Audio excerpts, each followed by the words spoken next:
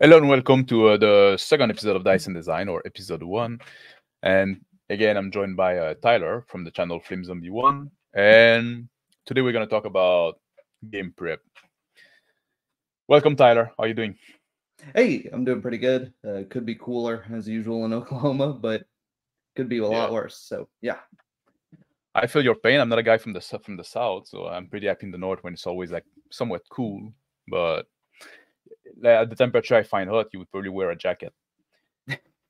so Tyler, tell me, what kind of a GM are you when it comes to prep?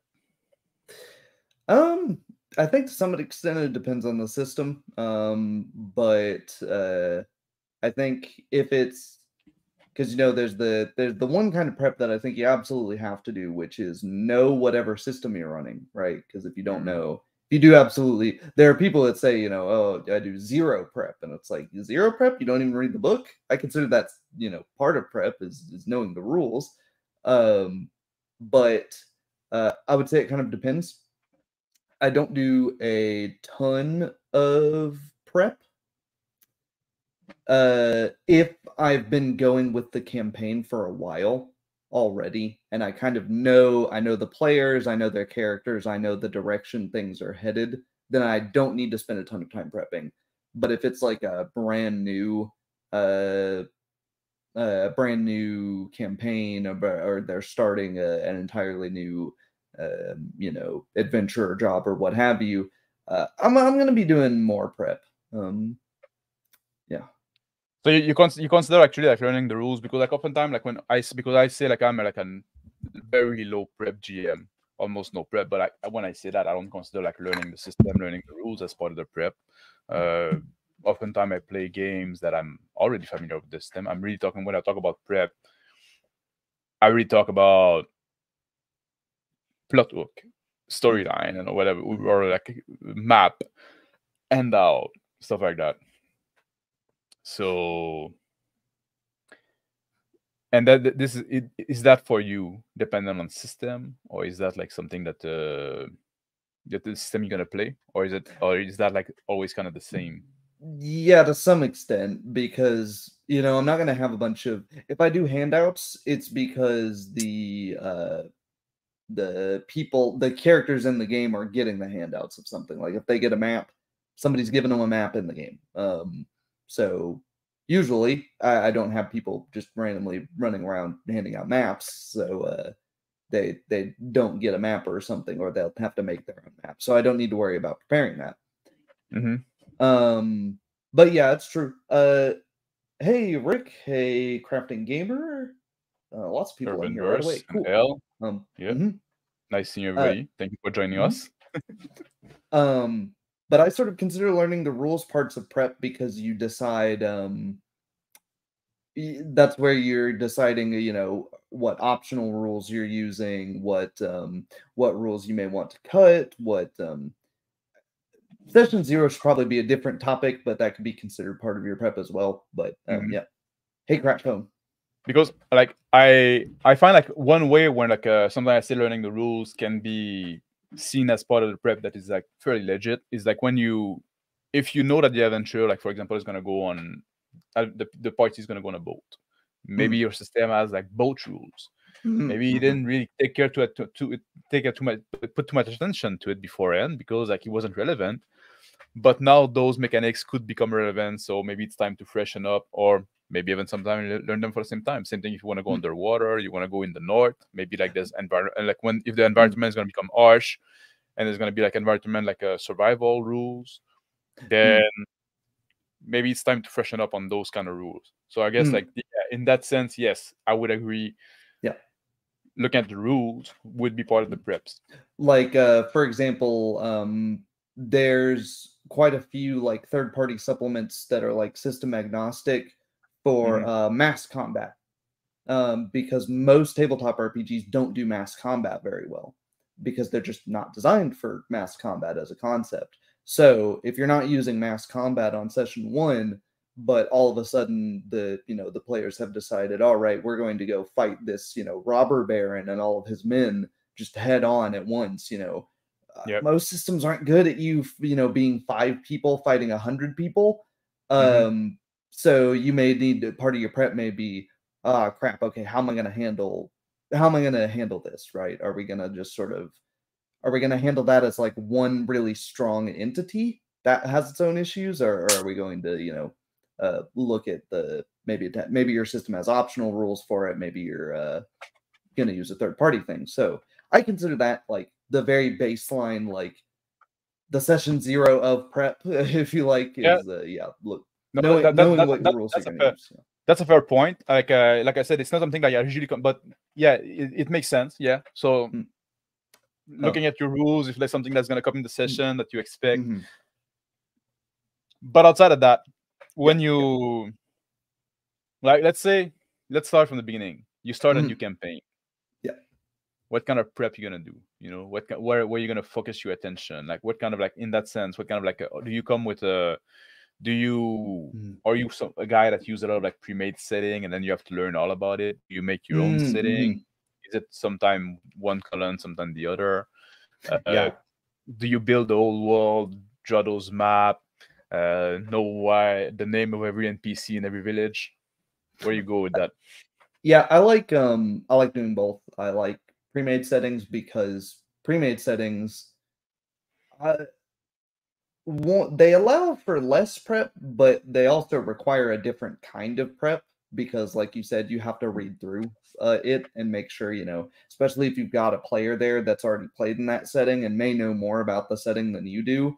You don't want to, yep. you know, run into an embarrassing situation where you have the, uh oh, that's that's not right. What are you talking about? That doesn't make sense at all. So uh, yeah, hey, uh, your your prep there needs to be um, respecting the fiction and understanding the the fiction of the world. Um, whereas if you're building something from scratch, uh, that takes a little bit more work for me. I enjoy it, but uh, you know it, that for me is more doing. Am I just making something that is uh to, to, borrow a thing we were all making fun of a while ago. Uh, are, are you just making Skyrim but with guns? Are you just making you know X? are you just doing X but with Y? Hey, crispy. But that, yeah, crispy. And I see you. Mm. But there's nothing wrong with doing like, oh, I'm doing like X with Y. Like hmm. actually, mm. I think that's a, I think that's a good uh, a good approach. You know, I'm not I, I like I, I I'm I'm open about that. I like my mm. usually my RPG setting fairly mundane. I like mm. that when it's like X oh, it's medieval time, but with this one change, and then we explore what this one change implication. But you know, I find a lot of people like try to make those world, and they it all starts with X but, but then they go X but Y Z alpha beta Z, and they and they add like a bunch of things to the X. But all those things are added in a very superficial way. They don't think of the implication of all the things that they added.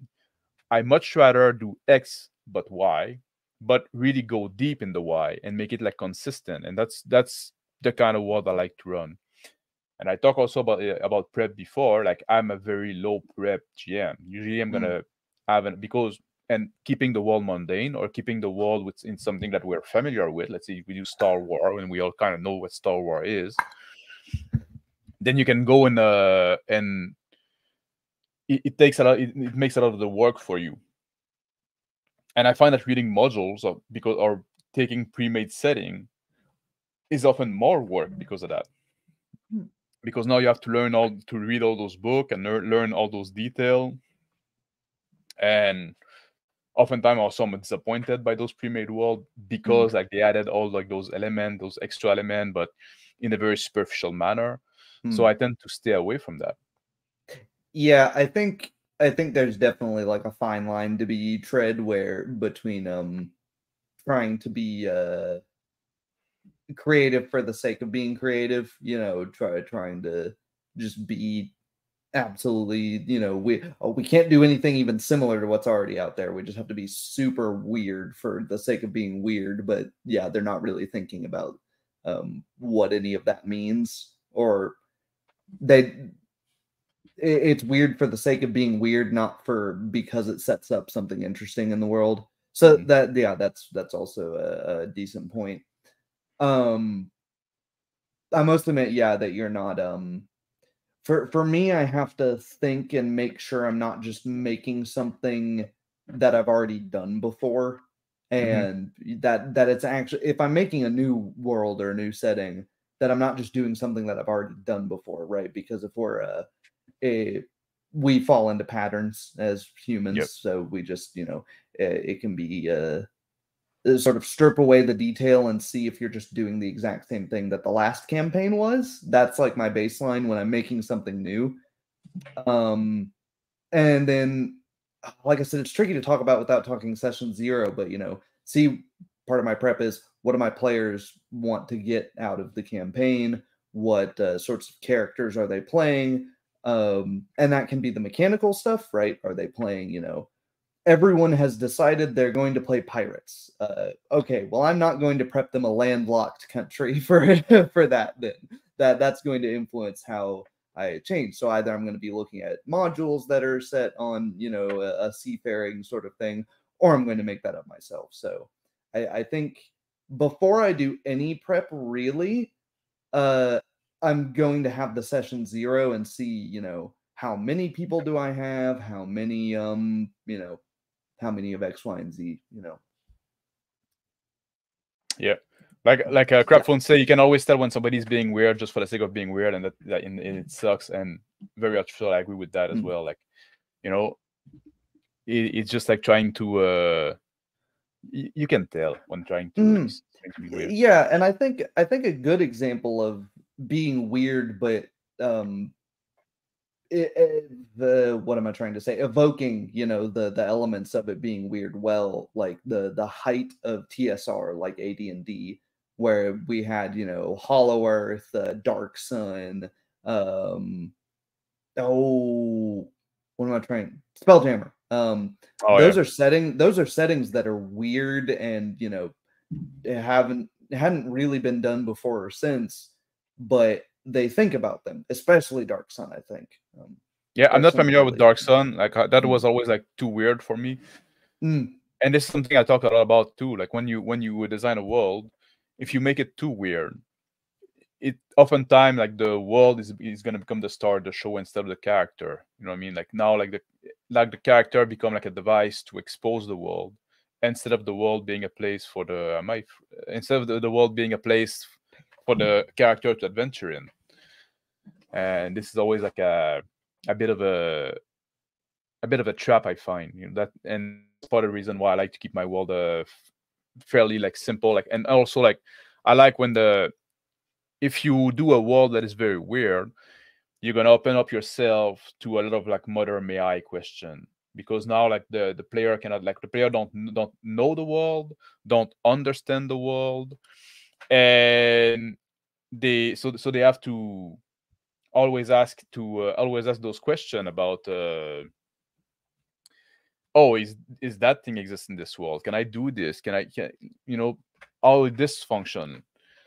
So if you keep a world like something that is uh that is a little more like i like the word i use oftentimes is mundane then they can make assumption that are going to be true. So i think that also take a lot of like uh it, it takes a lot of distraction away from the role play i yeah i agree. yeah. I, I totally forgot planescape. Yes that's true charlotte.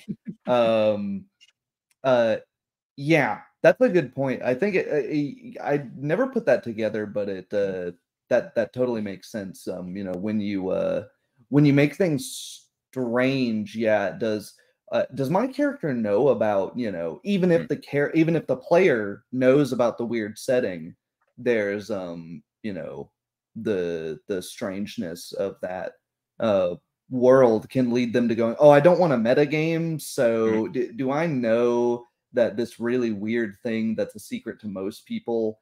Uh, yeah it, it can lead to that. So that's yeah that's again something you have to do at session zero is sort of that that is something uh, actually a question i'll ask during session zero is how much do you want your characters to know about the world?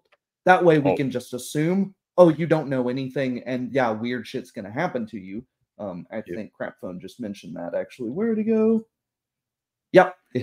If you're prepping for paranoia just reverse all of them and everything that's said tonight it'll be great. Yeah Yeah. uh, it's yeah. So if that's your intention that that sort of thing's great but you you have to be clear with your players on that Yeah, and also like you mentioned like session zero, and also like that's a that's a thing like Mm. uh you can also check with your player. And you mentioned like having the session zero before really starting the prep. Maybe you have like the vaguest idea of what you want to do, so you can like propose it to the player.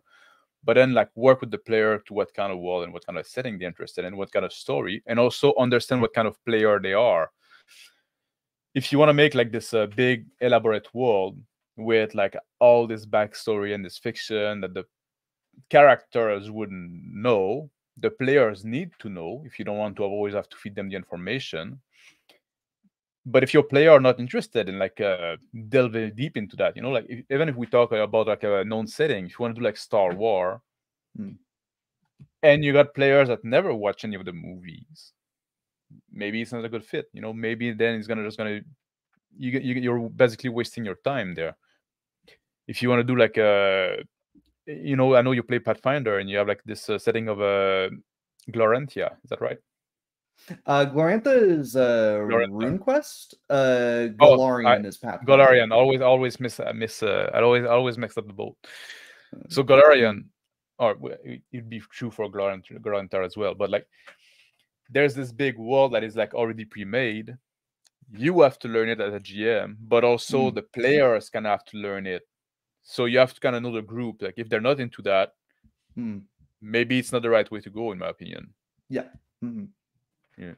Uh, speaking of, Golarion's a really weird setting, and it's maybe my favorite pre-made setting that exists out there. So weird for Mm. the sake of weird, and just weird setting is uh, it's two different things. Uh, just to be clear on that. Yeah. Um, uh, yeah, I mean it's weird. Spoilers for a ten-year-old setting. Uh, there's alien spacecraft landed far below the Earth's crust in you know your Renaissance fantasy style setting in Golarion. So uh, yeah, I, I like that. That's weird. so um, yeah, it's um, it is definitely something that you have to if your if your players don't like the setting, then don't just you know try to force something that only you as the GM like on them. Um, and as a player, don't feel uh, uh what is it compelled to join us uh, a- a session in something that you don't like. Uh oh, uh oh. Are we already to the quantum ogre? Uh, uh, yeah. but No, uh, we, we, we- we'll talk about that later. Yes. Yeah. Um so yeah, I uh, again I think I I think that's the thing of like where you get into knowledge skills in games Mhm. and that's sort of how the skill mechanics of the game build up how much the individual characters know about Yeah. the world they're in because maybe the barbarian that's from uh I don't know the the plains of Taldor fighting gnolls uh is he doesn't know much about the world other outside of Taldor. He knows about his very tiny maybe he doesn't even know about you know the big cities or the governance in Taldor. He just knows how to live from one day to the next. So I, I never never been a big fan of those skills because like I I find like it's always like a it kind of break through the game for me. You know, what I mean? you have to stop and oh Mm. your character will know that you have you have to. It's basically like exposition dump, even if you make them very small and very concise. And you know when you when you're into the narrative, exposition dump usually like are not a great thing to have.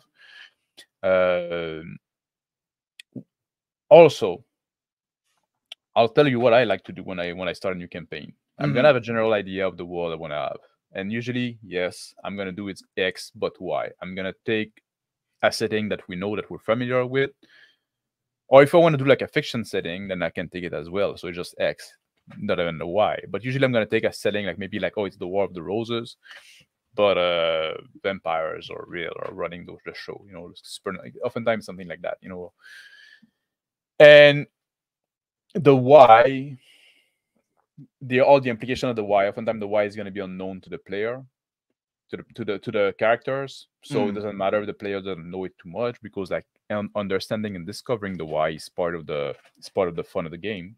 Mm, so that so then i'll come with the to the player with that. And then i'm gonna include uh some conflict in the world. And not something too big not something like world shattering maybe it's just a war. Maybe it's a famine. Maybe it's a plague. Maybe you know there's something happening that causes some tension between people that is going to be a source for drama. And it's going to be something that is not so big that it's completely beyond the, the the scope of normal people. Like it's still people and, and it still impact people, and people are still trying to deal with that conflict. But it's big enough that it's too big for the beginning character, but it's something that they can look forward later on in game. Mm. And then once I have that, I pretty much have enough to start the game. I'm gonna on the first uh first session, usually I'm gonna be a little more, you know, that's I'm gonna try maybe I'm gonna be a little more railroading in the sense I'm gonna give a push to the player because like just to get them starter starting like you know when you start like, like the the campaign in media res so the first session is going to need more prep in that sense because I, will I the oftentimes the players come they have their new character they kind of like a bit frozen they don't they, they don't have like the they don't have really the impetus to do something so you Mm. kind of have to give them a little bit of a push Yeah, you have, to, after you have to do stuff to them. I, I Yeah. agree. The the first session or sessions are definitely uh Yeah. they You- you put- they need more prep because you don't. Yeah, you have to put things in motion but then after that you can follow the lead uh, the lead of the of the player and Mm. wherever they want to go wherever they want to do and often if you play your card right then they're gonna be self-motivated by stuff that happened in narrative you know Yeah, exactly, some- like that, they- are, that are unresolved untold they they get beat up by some bandits or something. Session one, and then you know the rest of the little arc. The first arc of your campaign can be them, you know, tracking those Yeah. bandits down, seeking revenge on them. Yeah, I've had stuff like that Yep. happen all the time. And something also often say as a gm you don't need to have all the answer up front. And you can let the player fill in some of the blank as well you know? If they if and that's also depending on the groups. If you have like players that are reasonable you know and you should play with people that are somewhat reasonable somebody that are on the same kind of wave, wavelength try to accomplish the same thing don't play with people that are like, just not don't play with fucking trolls you know what i mean that are just trying Yeah. to uh, screw up the campaign and derail everything Oh God, yeah. but if you have like a reasonable people, you can let them. I always say like players are not the audience of the game; they're the co-creator. They control the protagonist, but also if they have an idea, if they want to do something, let them. You know, don't cock cock block them because oh, I didn't plan for this to to exist in. You know, like I didn't plan to for it to have like a well in the center of the town. You know, who the fuck care? You know, Hmm. it doesn't matter for you if there was one or not, but the player had an idea that involved the well. Let it be you have a well. Yeah or at least, uh, you know, you go, oh, that's a good idea. There's not one in this town, but there's certainly a town somewhere. And then next session, you know, in between now and the next session, you prep, you know, whatever that is. Well, and Dep- depend depending what the player want to do. Sometimes like you want to do Yeah. something right in that scene right there. You know what I mean? yeah, So- yeah, yeah. Mm. And, I'm, and I'm if just you, saying, you know, but yeah. and if, if, if you little, yeah. yeah if you say also like if the player say like oh I go to the well and I uh drop Mm. my purse in whatever whatever you want to do you know and you say and you tell them oh there's no well in that town now you're gonna train your player to ask before he's trying to do something is there a well in the town is there yeah, like, you, you know you train them to ask questions and you make the character look like a dumbass, especially if the character's Mhm. like lived in that town their entire life and they don't know that there's not a well, then it's like, well, you know, what's what's going on here? Yeah. So it's a it's a it's a it's a i think i think like just like having low prep allow you to include more stuff on the fly. Because if you prepped all the village you know sometimes i see those people and tell me what you think about that and tell me where you go uh, when you where you are on this. I see people that they oh the, the character is going to go to a village so they're going to draw a map of the village and place every shop and so you don't need that you know it's not really useful. All you're going to do if you do that the player is going to spend like minutes looking at the map and trying to figure out what they want to do looking at the map instead of just like trying to figure out what they want to do based on what they know you know? If you know the setting if the setting is like makes sense they can go to the village and they can assume that they're going to find normal thing in the village for that setting. And you don't have to know in advance. You don't have to know in advance every every every shop every store. If it makes sense the player want to interact with it yeah there's one. You know it's Uh, not it's not a yeah. I, I like when maps and like setting guides are more uh, a little loose with it and just sort of go. There is a, a shopping district. There's a weekly, you know, market square. They don't tell you what's in the market square. Maybe, maybe you know the town's specialty is you know fruits and vegetables or whatever. Mm-hmm. But they don't tell you. That doesn't mean there's not a, a swordsmith selling goods. Um, so yeah, yeah. When it's absolutely everything I mean, that can be nice for if you're running it more on the war game style of things, right? That way you you absolutely know, you know, here's where, you know, all, all my ducks are in a row so that I, you know, I don't have to worry about uh, uh I know exactly how I'm to set up the battle mat or whatever. But I think for for the role play purposes, yeah, it's because at the end of the day, your players are to have, you know, two, three, four times the brains as you, they're gonna Mhm. remember something. They're gonna think of something that should be in this town that you didn't have, like the well example. Yeah. If you didn't put a well in your medieval town and they're not really close to a river, the river water's not good, and one of your pl- and you forgot to put the well there, you know, and one of your players goes, "I go to look through the well." You you kind of have to immediately go, "Oh damn, yeah, there should be a well." um, let's look at some comments. Let's see. Yep. It was. re- Th- thought that was a funny one. Yeah, definitely. You need you need good players. Oh yeah, yeah, yeah. Like like uh, the weird setting I'm worried about is the weird DMs player that bothers me. yeah, you need to. uh the, the the people are too weird. Like there's good kind of weird as well, but people are too Mhm, weird. Sometimes yeah. they need to be kept out. Yeah.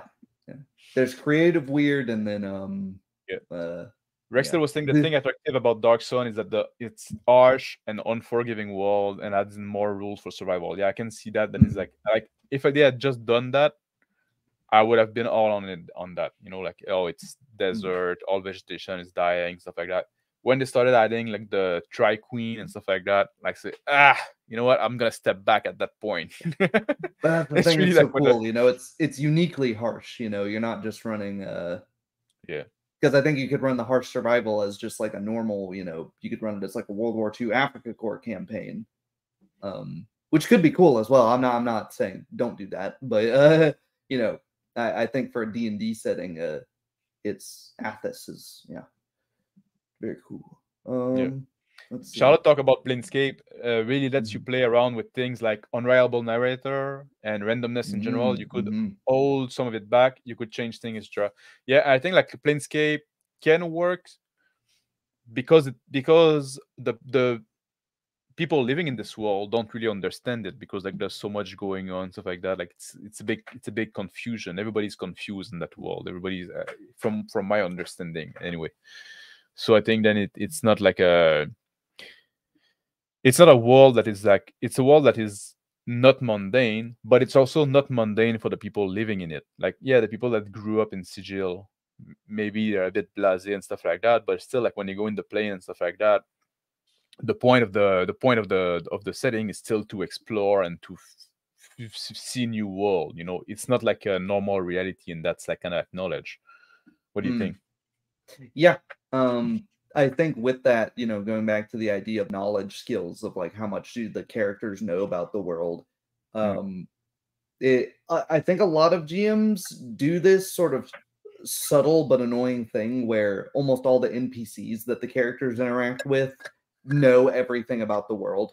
They they just know stuff, you know, they Yeah. and it can lead to this like uh this sort of annoying thing where it's like, well, damn, we don't know anything. I guess we gotta we gotta go over to the wizard's tower and get info dumped on, and we gotta you know we've got to go over to the college and you find some guy smarter than us to info dump on us, and you know, but it's you know what isn't it so much more impactful if you live in one of these really weird worlds like Planescape and you go to you know the the smartest person uh, that your group knows and they just tell you yeah i don't know that's weird i have no idea what's happening then it's like Yeah. oh well if you don't know we should probably figure out we should probably do something about that is you Yeah. know uh, all of the good pre-made settings to me will say hey if you couldn't fill in the gaps and make up your own stuff at your table it wouldn't be a role-playing game Mhm. uh, it would be a choose your own adventure book.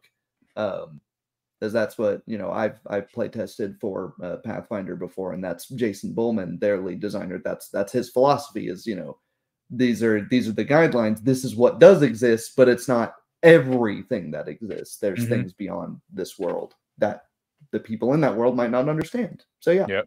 Yeah, like basically like a big thing and a big point, like uh with the with Planescape and the command chart there and what you're saying there with the knowledge skill.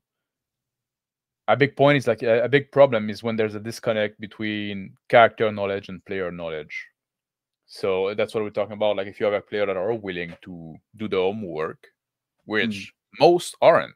Let's not kid ourselves. Most player aren't willing to. You know, that's something we can talk about, like player prep. You know, we talk about we talk a lot about like prepping for the game for the GM, but about prepping for the game for the player. It's often expected that they're gonna do uh, none of it at all. No, none at all. that's But true. Yeah. if you want to, if you if they want to play in this specific setting, well, Mhm. you shouldn't like your character is gonna know stuff about the setting, so you as a player should know those things. Otherwise, you always have got to be like spoon fed the info. Yeah, I'll I'll tell you how I do it, and then I want to hear your response, um, your ideas on this. Basically, a if I have someone that's going to be playing a super intelligent character or a very old character that's just explored a lot, I'll Mhm. want them to do some work into knowing the setting, knowing the world. Um, that I don't need them to buy the books or anything. I'll explain it to them, but you know, I'll say, okay, you know, either get with me in DMs or you know sit with me for an hour or so and we'll we'll talk about it someday. Uh does that interest you? Because some people are into that. Some people are just into you know learning about the world and uh, then it's it's cool when they you know drop little seeds of knowledge throughout the session and they can really play into the fact that they're this old wizened wizard or what have you. Uh, but if they don't want to do that, I will probably say, hey, uh, why don't you just play somebody that doesn't know much about the world you live in? You know, if you Hmm. play, you know, let's take a class-based system, but you know, any sort of thing that would be considered a fighter, uh, a martial, somebody who's good at fighting, good at shooting, good at whatever in your setting. They don't necessarily need to have broader knowledge about the world. They could, they could break that trope. Of course, that's a different topic. But you know, if it's a class-based system, you know, a class that doesn't get many knowledge skills or any knowledge skills, I would recommend they play that, and then they can role play their lack of knowledge of the setting because their character also doesn't know much about the world, right? You know, uh, if I was role playing an average American, we, I wouldn't be able to point out half the countries on the goddamn map. Like, so it's it's fine that they don't know about the setting of the world. Then Let's talk about the state. Can you pinpoint out half the state? oh God, yeah. yeah. I the don't- you way know, the way I like. Yeah, yeah. sorry. No, I was just gonna say, even I, I don't know every restaurant in the town I've, I've lived in for five years. You know, so Mhm. uh, Yeah. I'll tell you the way I like to deal with this, and but I would caveat that with saying like it's to use with extreme caution. It's like if you're a character that travel a lot, that is experienced, that would know a lot about the world, because I keep my world very fluid, because I keep I do very low prep, I can tell the player like make it up. You know? Hmm. You look, I I don't know, like I don't know in advance. I'm gonna make it make something on the fly if you want to go see uh who's the lord of this place. But if your character would know that, and you're talking to another character about the lord of that place, it doesn't bother me if you make it up. You know, not to be protective of my setting. You know, I, I like I see GM do that. Like they their world building is their creation, and they're very protective of it. And they thought it all out, and now they they, they kind of get bothered if somebody else injects something that they didn't plan. You know, they have all this big story plan. Like I try not to do that. mm, And I say it's to use with extreme caution because you have to have, like I said again, players are reasonable and stuff like that. And if you're not up for it, maybe don't play a character that knows a lot. You know, like, but that's part of the game. You know, you want to, you, like, you can create. I'll, I'll let my player inject stuff in the world, and sometime uh, maybe I'll say, eh, actually, like, let's let's slow down a bit on that. You know what I mean? like, mm. but if you have good I- player that you mm. used to play with, I think absolutely you can let them. Like you know, like I like I I, I don't fucking know the name of all the the lord of the setting. Like you want, but you you a noble, you know them. You want to go see somebody? Tell me who he is. You know, like or not tell me as a as the the, the player to the, as the GM, but let your character. You're talking to another character. tell him with a with this and then and then it, it becomes canon you know because your character would know that uh, and maybe sometime i can inject something that you don't know yeah this guy you were talking about now you go see him he's been dead for two years you know what i mean if i want Yeah. like you can throw curveball like that it's part of the back and forth like it, it's role playing it's a conversation in a way you each bring something else You're gonna trigger Abraham.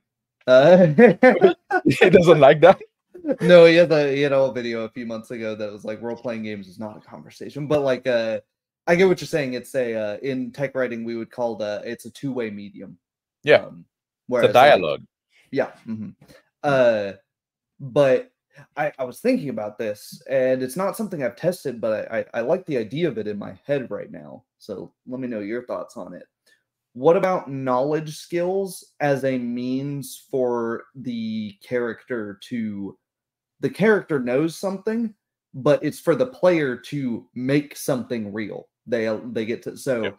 you know they roll really high on their knowledge check.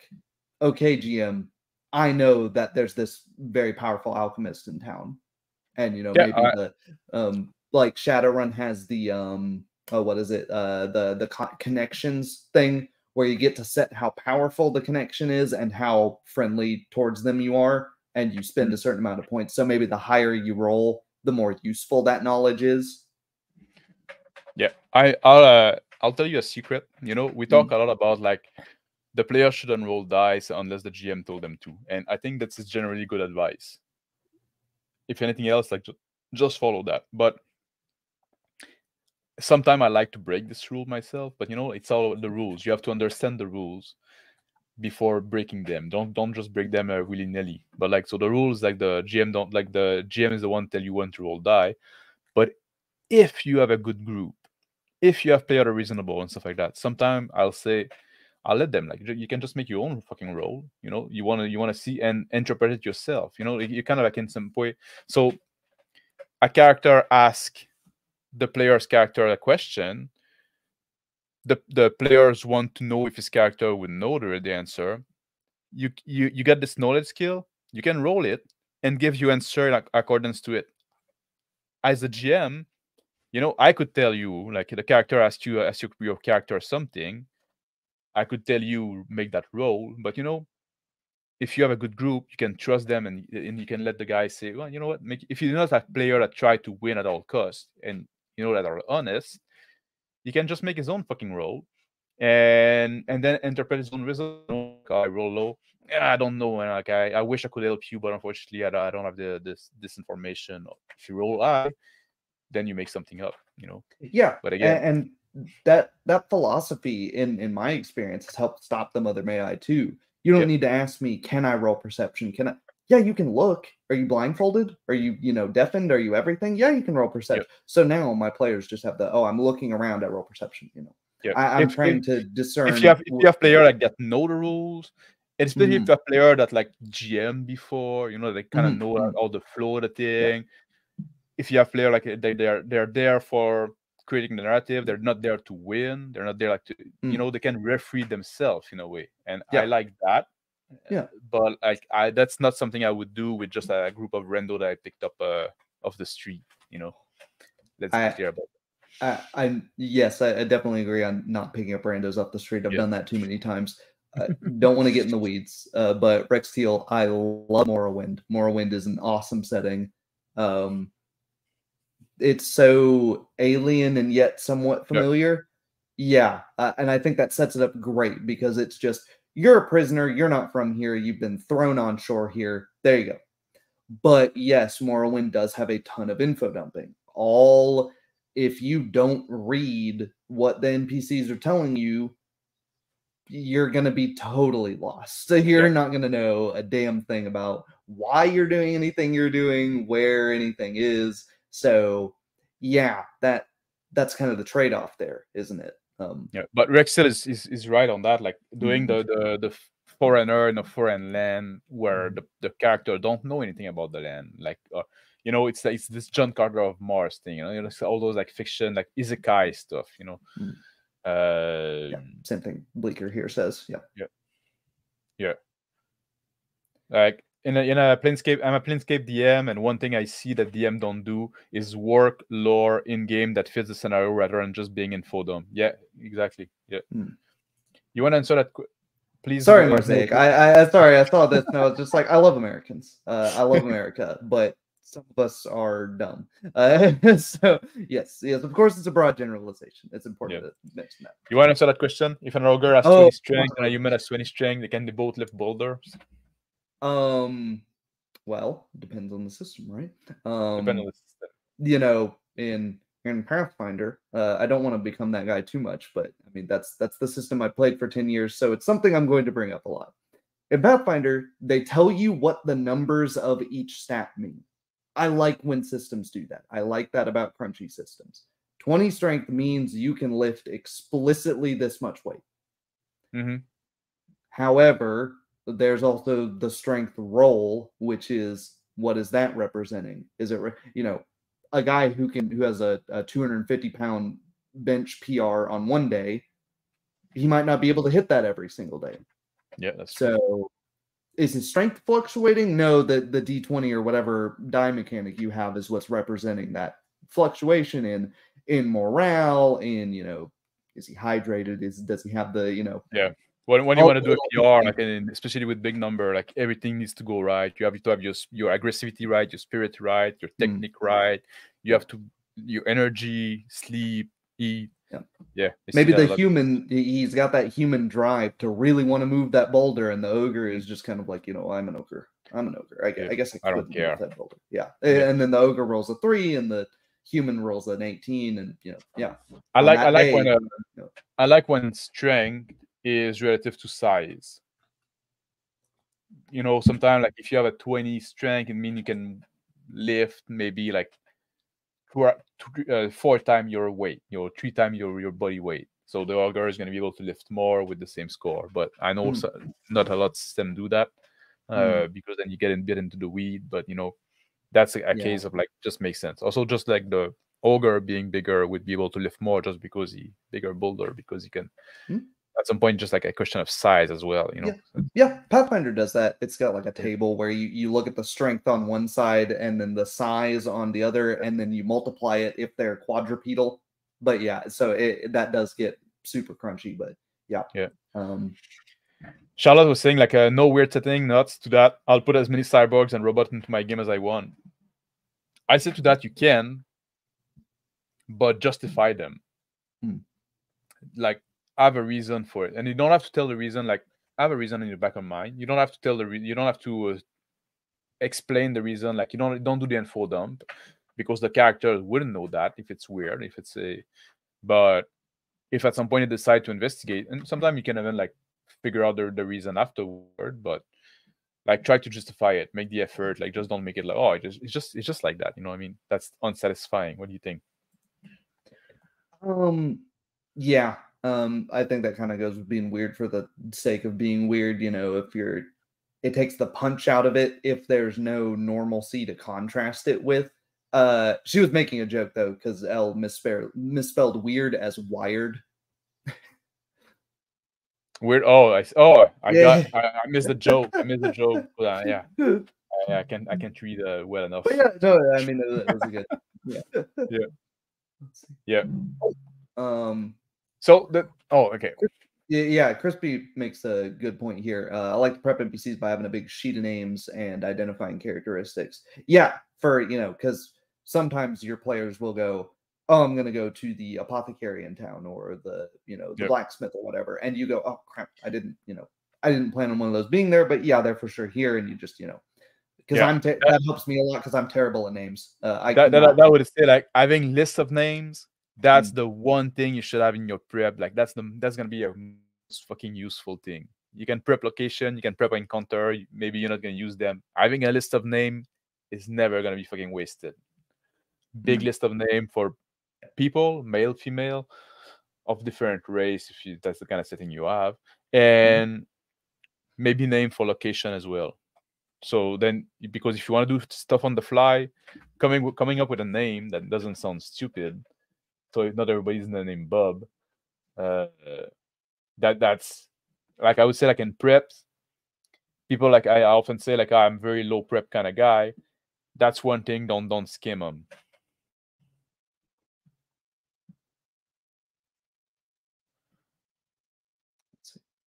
Um, no, no, you're not doing it wrong. You know, um, that no, I, I I would say that's a you know, that's a high trust exercise. Um, Yeah. mm. but you know, try it out. Try it out. See if it works for your table. If it if it causes problems, don't do it. But you know, no one's gonna die, so so don't be afraid to try different stuff. Yeah. What were you gonna say before I brought? Oh, Oh, I forgot. Crispy say, uh, I agree, Max. Uh, there's a lot of prep that is essential for front loading the key element of the world and setting expectation. Yeah.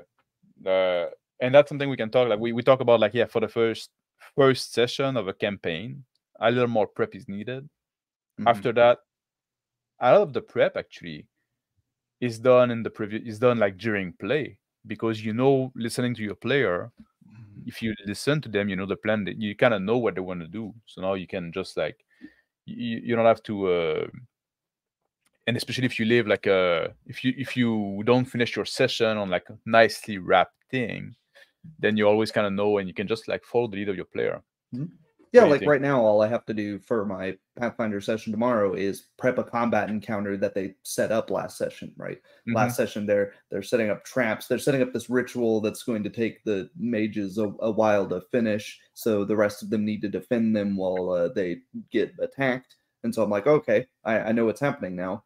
Now all I have to do is prep, you know, the the the combat encounter. Right.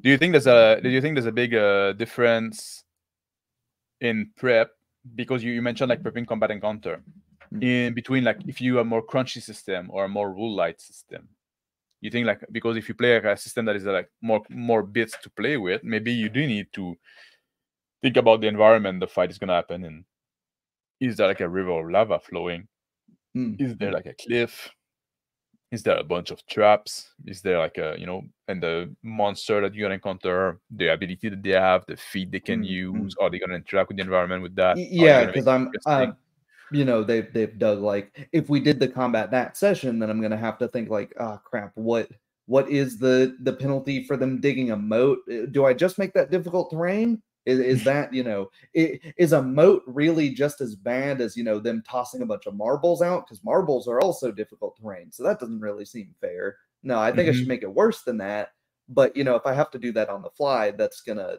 sort of you know, it's going to interrupt the flow of gameplay. Um, so you know when they're setting all of that stuff up, it's you know I'm making my notes down and going, okay, I need to I need to look up if there is a rule for this outside of the game, and if there's not, then I should probably you know reward them for for going through all of this planning and finding out that they even were going to be attacked in the middle of the ritual because they you know they smartly thought I bet we're not going to get this like 12 hour long magic ritual done, you know. Surely he's not just going to go, all right, yay, you did it. so, um, uh, uh, so I, yeah. I, I, th- I- think that's one place where like the rule light system kind of shine because like Mhm, mhm. it's expected that you gotta make more ruling than just like follow the rules so like oh there's a Oh. moat just All, jump mm. like make a make a jump roll or whatever the Mm. system like, you Yeah. know Although I, I would counter that by saying a really crunchy system, Shadowrun, uh, Mhm. fourth or fifth or whatever edition, they're really all pretty crunchy. Um, I would you would go insane if you prepped every single combative NPC in that game because character creation takes so long. That's what we're going to get to the next topic. But Yeah. the character creation in that game takes so long. If you prep all, you know, 12 mooks, you know, all the all the, you know, corp sec goons in every fight, that's going to take forever. But if you just go, they've got a kind of crappy pistol, they're okay at shooting their pistols. They're they're rolling 5d6. They're rolling 5d6 mm-hmm. to hit. They've got decent body armor, so they've got 60. You don't need to have the big sheet of everything they have with you. You just go, oh, oh one of my players has decided to shoot a random, you know, mall, uh, mall security guard. Uh, okay, mall security guard stats are probably going to be around here, but that does Yep. require more system mastery in that case. So I would Yep. say that's that's easier to do in in a light system, but not impossible to do in a crunchy system. Yeah, I I like I, that. That's usually my my preferred way to approach uh, because, like I say, like I usually don't know exactly what's gonna happen, and I like being surprised. That's the thing too. Yeah, Like I don't I don't like the railroad because I like you know I I'm playing the game as well, and Mm. figuring out like figuring out what's gonna happen with the player at the table. That's part of the game for me. yeah, Max, you're being very sizist. Um, Straight up, so- yeah, yeah, yeah. That's because I'm I'm, I'm a big guy. so, come on, man, so it's unfair. Uh, Arnman say I will take a few sessions uh, for new groups of players to find their groove. I have a lot of material ready at the beginning, and that's a fair point as- as well. And we, we mentioned about like oh, depending on the, the type of group you have. I've been lucky to oftentimes play with the same kind of group of player. It does come with drawback because, like you said in the beginning, you, you cannot do the same thing over and over. Like if you do the Mm. same thing, the same setting with different group, it's gonna be different because the, the character is gonna the, the player is gonna act differently. And even with a good player, the character is gonna act differently you can have sometimes like a long-term campaign, like a campaign world that you run many character and many adventure, many party in it, and that's fine as well. But uh when you have like new new players that you don't know, I I think that does require much more prep, like you said, because you have to get the vibe of them. You, you and my advice on that would be prep some stuff, have some stuff ready, but be ready to kill your darling, like we say in writing. You know, like don't be married to it. Yeah, be If the be player- ready for your yeah, be ready for your player players to kill your oh oh yeah, be Yep. ready for your players to kill your cool villain the first encounter when you wanted him to flee. You know, Not not only that, but also like even like you, you prepare like a bunch of plot hook, a bunch of Mm. storyline and stuff Mm. like that. But if the player take the lead, if the player are role playing, if the player like are taking the game somewhere else, let them. And this Mm. prep that you did, you can always reuse some other time. oh, so you do Uh, like reusing reusing old prep? Okay, okay. If it if, if it hasn't been used, yeah. you know Mhm, you, mhm. you you you create like this encounter the player didn't go to it well maybe at some point you're going to need an encounter of that type on the fly you can just like put it out then you know sometimes it's kind of like a building block that you can inject there Mm. I think some people reuse uh, prep work in. I can't remember. I think it was a Knights of the Dinner Table uh, skit, but no matter where the players go, they always run into this box that the GM wants them to open. So I think uh, I think you have to be uh, clever about it, right? You have to be, you know, oh, uh, I left this plot thread that this uh, robber baron is uh, attacking these villages, and the players go, well, we don't have time to deal with that right now. We've got to go Mhm. kill this dragon. Then later on, you reuse that prep, not in the way of the robber baron suddenly teleports in front of them, but in the okay, well now the robber baron's not harassing villages. He's got twice the many used to, and he's you know he's harassing cities now. Maybe he's worked his way to uh, not even necessarily those players, but the next uh, uh, campaigns of players. I like I like doing that. I like using the loose ends of one campaign to start. That's already my prep for the next campaign. And But I that- think that's, that's, uh, oh, yeah, yeah. that, that that's also like having the world be a living place that exists for Mhm. its own sake the world just just, just doesn't exist in a 100 feet radius around the party the Mhm. world doesn't exist for the party. The world the world the people in the world exist for their own sake so the world keep on going. Yeah if there was like a robber baron do, going into banditry and you did nothing about it something his, his his storyline is going to evolve as well on the side. So then when the player come back to it at some point it uh it, it will uh, impact them. Someone mentioned, uh, K- kodt what is kodt again? Knights of the Dinner Okay. Table. Oh no, I cannot uh, bring up Hackmaster Four. I I'm, I'm not I'm not familiar with uh, any of it. Charlotte, we will we will definitely be bringing at least I will be bringing up uh, Hackmaster when we talk about character uh, character creation uh, next week. So And we uh we're mentioning like we're talking about like a reusing plot point, and we talked about that uh in the note a bit. Like the, like now it's I guess would be time to talk about the quantum ogre question. mhm. I think what I was mentioning about like if a plot, if something that you prepare hasn't been used, you can keep it on the side and use it later. Adapt it to the situation, make it make sense. I think that's different than the quantum ogre because a quantum Mhm. ogre is a way of railroading or like putting bumper you know there's there's a fork in the road you can go left you can go right if you go left there's a fight with an ogre if you go right it's the same fight with the ogre so it's like illusion of choice it's like the mass effect Mm. tree ending Yeah. like he, he gave you the impression of choice but uh and of course in in role-playing game you pick one choice you don't know what the other path was but i think that's a symptom of almost it's like you're in a weird spot where you're like over prep in the sense that you have this encounter ready that you want the player to go through but in the same time under prep because you don't have the alternative ready hmm so now you give like a fake choice to the player, and now at that point you are telling a story, and the like that's when the player become the audience because they don't have like a they don't have a choice, they don't impact. Hmm. What do you think about it? Yeah. Um, it's made me think about um uh high high fantasy in that if you have really powerful players, um you probably need to prepare multiple problems. Otherwise, you're going to run into the issue of the, the characters just being able to solve every problem. Maybe that's your flavor of the setting. Maybe you're running a, you know, a Saturday morning cartoon where the good guys always win at the end of the day and everything's just a setback. That's fine, but that's not my personal uh, taste in in high fantasy. I high fantasy to me is powerful heroes, powerful villains, um, but it can also mean a lot of villains or just a lot of problems, right? You know, you think about the the the best written Superman. You know, when when Superman's well written, it's he can solve any of these problems. You know, they're not just you know infinitely power scaling.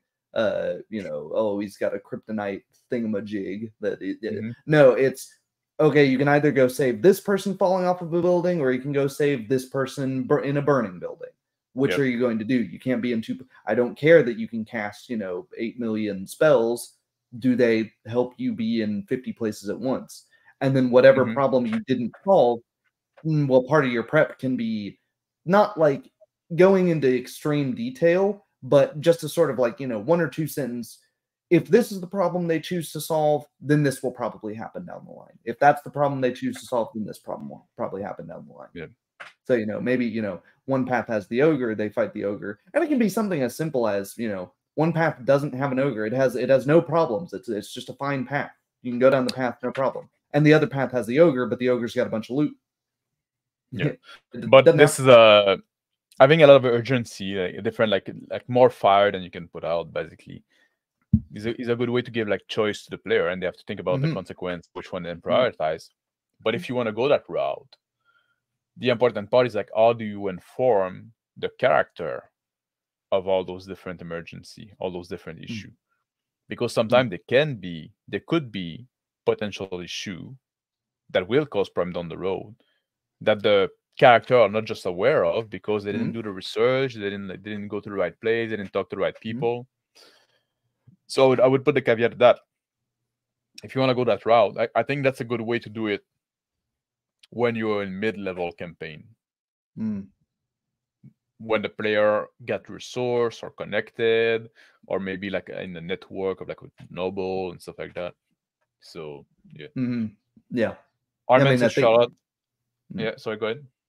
I yeah, I, I think it's important to, you know, you have in the case of the burning building, describing, you know, players see smoke on the horizon in the opposite direction or not in the same direction as whatever they're they're going to do. Um, or maybe it is, maybe it's an additive problem, maybe it's a problem that they're going to also have to deal with. Um, and you know, occasionally having NPCs inform them of, you know, the robber baron that's coming up and then and then you can tie that into is that npc reputable? Is this just some dude that they've never met before trying to lure them into a trap? You know and that can so i, I like informing through npcs a lot because it keeps the keeps the characters and the players on their toes both. Um but yeah armen says um i agree with charlotte with using modules to start. If the group works out then you put in a lot of effort. Hmm. i kind of agree but i think you can do it the opposite way too I think you can. if you're running a more sandboxy campaign where there are multiple problems, I like starting with the modules are happening. If you're using a game with a preset world, you know, Faerun or Planescape or Golarion, what have you, there the modules are all telling you there's problems in the world. Right? That's the start of so what I like to do is have, you know, there's a problem over here, there's a problem over here, there's a problem over here what that means is whatever the players decide which of those players which of the problems the players decide to solve that's the module they're going into rather than going already you're in this module deal with it figure out why you're here uh it, that, it that would be like the, the the theme park approach where you have like mm, different mm. ride that you can, you can choose to and, go on and then when if, um you know when they get into the module you know then i'll go totally off the rails of the module yep. like kind yep. of like you said you know like because a lot of modules they have, you know, they'll have oh, you have to get this MacGuffin, or it's just gonna be a total party kill by the end of it, you know, or um, yep. you know, and then the other two, the two modules they didn't go into, now they're uh, they're changing. They're they're totally different because yeah, some other I, adventuring I, I party is going in them, you know. It's, it's exactly what I was about to say. If you want to go this route and you have like a bunch of module and the player can kind of change, choose like the other in the other model, something happens as well. Like the other mm-hmm, module, mm-hmm. the other the other problem, something happened as well. Either somebody else took care of it, or the problem grew, or something like that. Mm-hmm. So I think like mm-hmm. that's a that's a fair point, and I was about to say that, but you got me there. And I say also if you if you want to start with a module, always say like like you said, be ready to go off the rail like immediately. If like I always say, like follow the lead of your player. Like don't try to restrain them and stay on the path of the module. If they have idea, if they're contributing something to the narrative, listen to them and follow them that'd be like my advice on that. But yeah if you have like players that like but and then again if you have like players that like a little bit uh need a little more hand holding using a model could be a way to do it. But then also you're kind of training them to have the hand hold held in a way. So it's kind of like a double-edged sword in my opinion. Yeah. Yeah. Um hmm I'm trying to think of uh, specific examples. Um, but yeah, I mean, modules can be they can be really useful uh, building blocks. I, I treat modules kind of like Lego sets, where you know the Lego set tells you you can build a car, and but you know you don't have to build a car exactly how it says it's built. You know, you got you got four wheels and an engine. What's what's between there here and there is especially if you bring if yeah. you bring block from outside of the set you know yeah yeah exactly and, and i think in, in role-playing game that's what you that's something you should do you know you bring yeah especially if you're if you're running a module with characters that have already done stuff right you know um mm. I, I think it can be fun occasionally to ignore the the recommended level on a module you know this is made for uh, player characters of level one through three to uh, and four of them and hmm. just like well sometimes the characters need to be reminded of where how powerful they are right? Yeah. So, you know. I wanted to have uh, your opinion on that uh, comment there, like uh, the Rex still said. One thing I kind of struggle to grasp is how much prep is too much and how much is too little. Obviously, this is a very subjective. I personally want to learn more in the low prep section. What are your thoughts on that? When when does it become too much, and is there like a point where it's not enough? I I think it's only too much when you're wanting to pull people you're wanting to pull your players in a direction and you you get this feeling of like ah, dang it i wrote so much here and they're just they're just blasting past it. They're ignoring it. Ah dang it why did i even do that? And you can't think of a way yep. to reuse it as max said earlier then that's too much right? But if you're going into it with the philosophy of the prep is for me and if mm-hmm. the players never if the players never interact with it whatever right maybe I'll play with a different group and then I can reuse it not in this campaign, but in a different campaign. I think too little prep, I, I like lower prep, but I think too little can have the more major issues where you have things like stalling in the middle of a game, yep. right? You need to, you know, you go, oh crap, um, I didn't, I, you know, I didn't know about that. Oh, I've, you know, this this character wants to go find a you know a monk to train with oh i didn't put you know i didn't think of any monasteries nearby and it uh, it wouldn't really make sense for one to be. And I don't know where they are in the world. Um, uh, crap. Let me let me look. Let me open the book.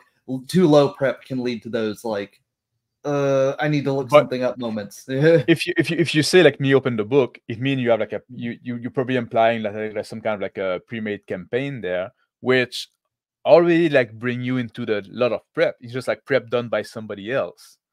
Because if you go really low prep and they say, "Oh, I don't know where there's a monastery," well, you don't need to think about it. Whereas, like you know, well, there's a monastery like uh, in in that first place that makes sense. You know what I mean? well i I mean on that side then it can lead to things being either either too formulaic or too random Yeah. so but I, like so, that, that's you know, that's what I, I say. Like the first thing you make sense. For me, like too much prep. There's two things I would say is too much prep, and one you touch already on. It's once you become like oh that you invested so much effort that now you want to you're gonna force your uh, your player into that. At some point, if if that's the approach, that's too much prep. If it, if you did so much prep that you have like the kind of sunk cost almost, or you're not willing to sacrifice it, then that was too much prep. The other thing that I say is too much prep is when you're no longer having fun doing it. If you have fun doing the world building and stuff like that, I've had it. But if it become a chore and you feel that you need to do all this prep and stuff like that, then you're doing too much. Learn to do less. Mm. Not enough. It's if you get yeah caught with your pants down, you maybe you didn't prep quite enough, and I'm like, you know, I say like I'm a very low prep GM, but I've been GMing for nearly, nearly 30 years. So I got a lot of experience. Like, uh, so, and I, when I started, I would prep more. And at some point, like you see, you, you see pattern and as you go and you see like situation similar in the past that you can like draw from, you get all this background you can draw from. So it is a skill that can mm. be developed but it's not a skill that you're going to develop if you always go to your session over over prepped so it's something like if you need if you feel like you need the preparation to feel safe and to feel confident just try to do a little less each time and see how it goes and at some point your player are going to tell you like man that was a fucking great session Mm. and it's going to session that you know like the prep the least but they they felt like they were so engaged and everything was flowing and stuff like that now you you know like you you've reached a point and then you can like keep, keep cutting and now you're like Mm. you're gonna be comfortable just coming in the in the table like spending an hour thinking about the game like while you drive to the table basically. Yeah that's what i was about to say. A lot of your prep can just be thinking about okay what did they do last? Okay what what logically is the next thing? What are some things you think i, I think also this may be taboo. Don't be afraid to ask your players after the session what when you when you've dropped character when you're no longer role playing don't be afraid to ask your players if you're just totally lost in like a sandbox campaign what, what do you guys plan on doing next? What are your like what are your characters goals now? Maybe a character completed their main goal but they're not planning on retiring and you're like okay what are you doing now? And if they don't give you like a very concise answer now it's time for you to act on them. Um, but also that i think that's a good idea to as a gm to take the habit when you see one of the character trying to accomplish a goal. Like put something in his way that's going to motivate him to go after that you know what i mean? Or, or Mhm, put a mhm. delay like you know oh i wanted to uh, get a castle but now like this other thing or now like this jerk is fucking uh, with me. Now i'm going to Mm. defeat this guy. I'm going to go fuck with Mm. him you know what i mean? Yeah always try mm, to uh, before they can accomplish their goal like seed something else. Yeah. Um, something yeah that that really helps with um not feeling like you're over prepping when you're not prepping just for one session but when you feel like you've ended a session and you're like oh sweet. I prep i've got prep for the next two or three sessions. I don't now i don't need to do anything this week. That that's something that helps me feel like i'm not over prepping for something. Yep. but you know of course if it's if it's eating into something we don't talk about a lot if you're if it's eating into like your personal life yeah and you i don't have one. Arman ask, uh, what if your setting is a large is only a large city? I would put a lot more detail in such a place. That's something I, I love dense setting. I love Mhm. like urban campaign when everything is gonna happen in one city. But that's the thing, you know, it's a like eh, let's say like because I do mostly like medieval, kind of like medieval low fantasy. That's my Mhm. jam, you know, that's what I like. Mhm. I'm not gonna lie. Uh, so I'm gonna like I know how like a medieval city would work in general. So I know how this would work. I don't need to know in advance where every building is, where everything is. You know, you kind of fill in the map and fill in the detail to play. You know, at some Mm. point the player want to do something, want to go to some neighborhood, want to want to go to the slum. Then okay, there's a slum. It's on this side of the town. If you have like you, you now you you take note during the game, so you build with the player the city, and at at some point you don't have to tell the player what the city is because they they learn and they they got to know it through play. So now they're familiar with it. They all like, was there a slum? Yeah, probably there would be a slum. Yeah, kind of slum, like a, a poor people Mm. neighborhood and stuff like that. You don't know exactly where it is. You probably have an idea because of where it makes sense. But like once they want to go there, then you start like populating this area. You know, that's the advantage that we have over video game. In video game, you always gonna have like those uh roll the dice to see how many blacksmiths are in town. Yeah, exactly. You don't need to 50 do that. blacksmiths. Yeah. you, you can you can do that, but you don't need to do that either. You can just like because like eh, unless the player asks how many blacksmith is there in town, then you can roll it. You can roll a dice. But other than that, you know, they want to see a blacksmith. Yeah, there's one. You ask a NPC around, like where's the nearest Mm. blacksmith is. He's gonna tell you, oh yeah, there's one on the on this street over there. And Yeah. just turn Yeah. there and give some direction. And I think part of that is what what kind of large city is it? Um, is it a medieval large city? Is it a modern large city? Um, oh, hey Halcyon. Um, then uh, do some research into that, right? You know, if it's a modern large city like you know Seattle or New York City, that's going to have pretty much literally everything you could possibly grasp, and maybe your randomization just needs to be how far away is it from you? Where is Yeah. it? And then mark it down there. Make make make it when you're using random lists. You need to Yeah. make sure you're marking down where it was. That way, it's not random every single. The blacksmith isn't just teleporting all over the place. Uh, that's something I see sometimes where they they, they GMs forget to Yeah. to mark And- and- right. but Yeah, there's nothing wrong with with the rolling to know like the number, like how, how many bums on the street. You know, like it's Francesco, like probably like you roll a 20, 20, 20, 20 sided uh, dice. D one thousand. Yeah, Yeah, D1000. no, because that'd be too low if you roll a one. but no, but uh, for for rolling rolling for stuff like that. But like if like if they they say oh is there like a you're in a modern city and they say is there like a cell phone store nearby? Mm. Yeah. There's like there's probably one you can roll to see like i- i- how far it is. or Maybe- maybe, maybe- you know, is it an AT and T? Is it a T Mobile? You know, Yeah, is this a something like- blacksmith? Is this a swordsmith? Is this an armor smith? You know, Yeah, so you can roll you can roll for that, but you know if if the and again, hopefully the the character is asking another character like an NPC or whatever. It's yes, not it's not the player asking the GM. or they're like, I I look around to see. You know, yeah, or you, or you say like I yeah I look around, or or maybe they can just say like I go to the nearest uh, cell phone store Yeah, yeah. because if they're if the if their character is familiar with the city, yeah, there's a Mhm. chance that they might know where it is. Yeah. Uh, or they just plug it into Google Maps or whatever. Yeah, exactly. Um, like in, the modern yeah. time. So, Yeah. so don't roll to know if there's a cell phone store near. Like there's gonna be one.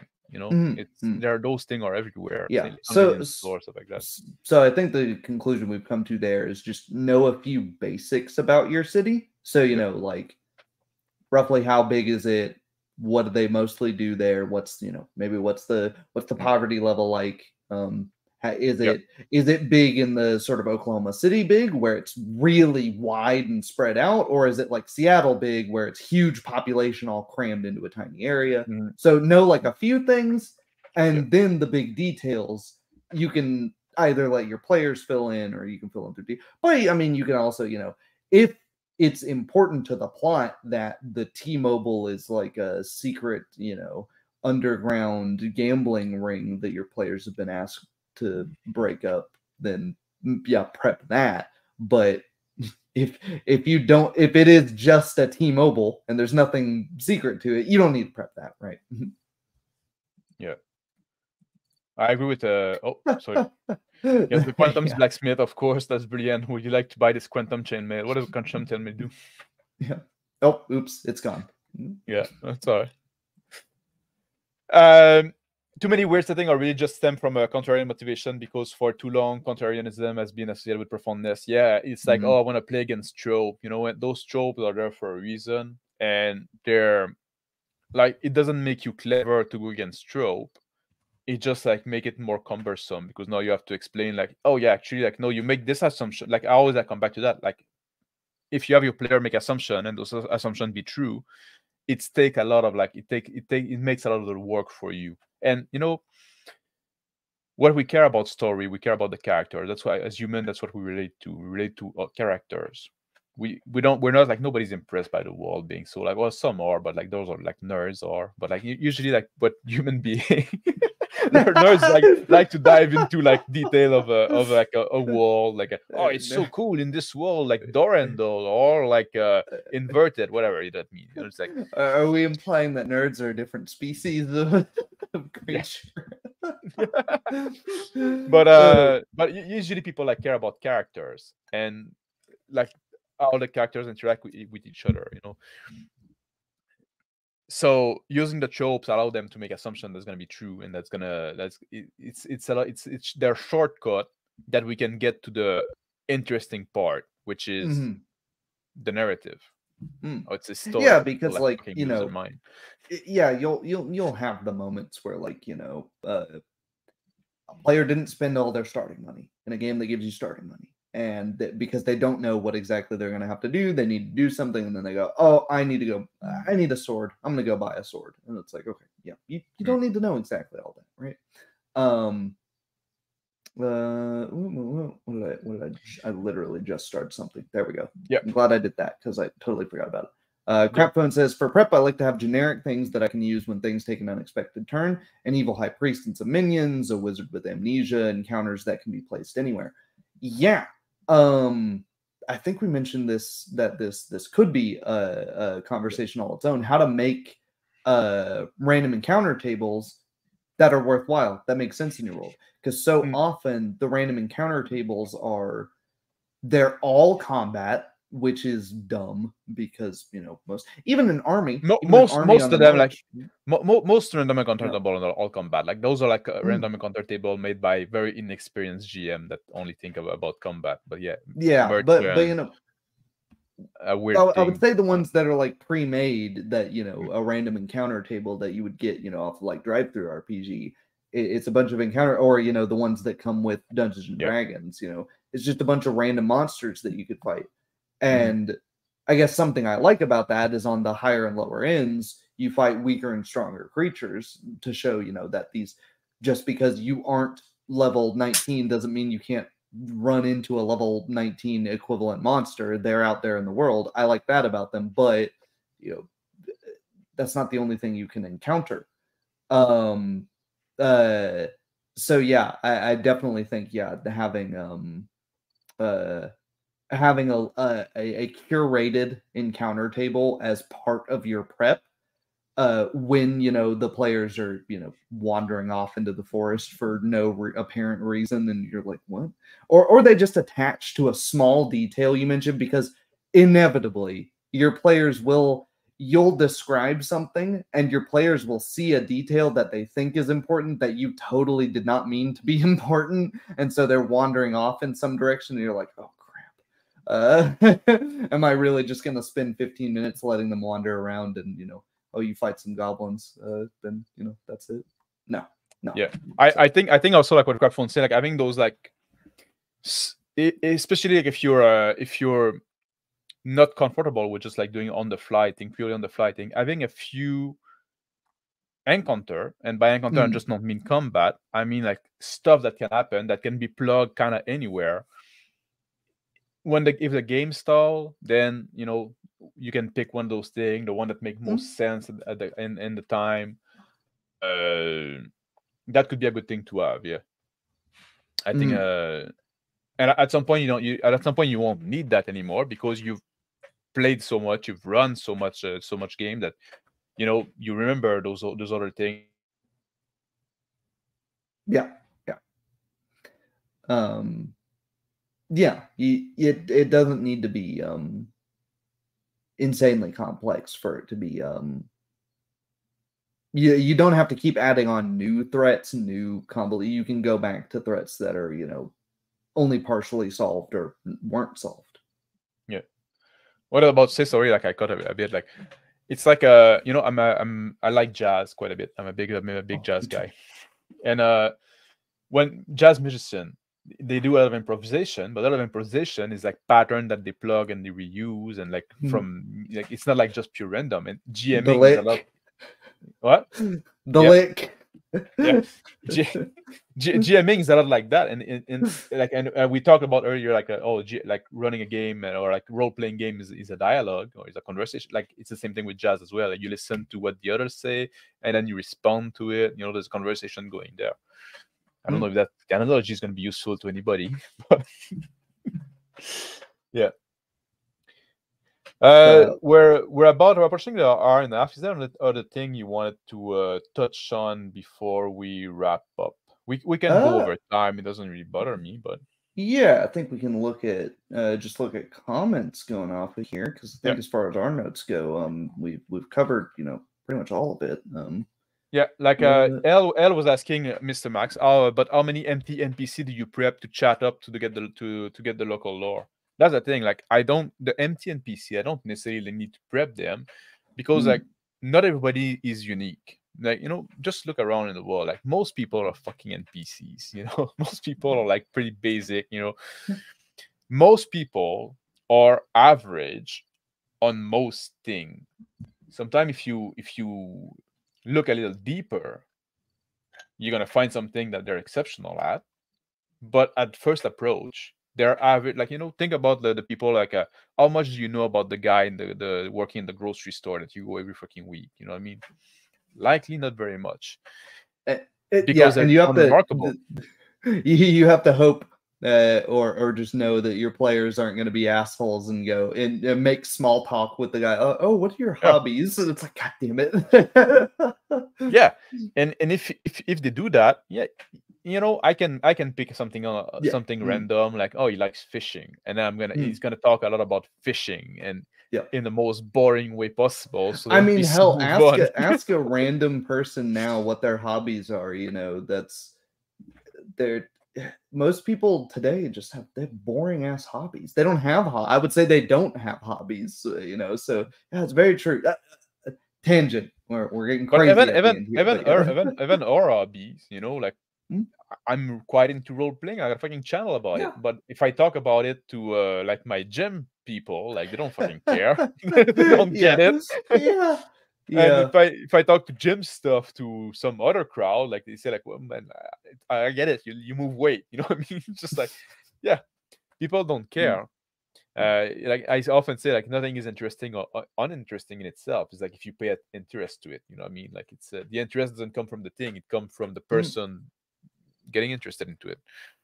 But uh, PC, yeah, just those those uh, random people. This is a good point too. You know, your your players like standing around and just you know having a tea party in the tavern. Well, eventually someone throws a Molotov through the tavern window, and now you got to do something about it.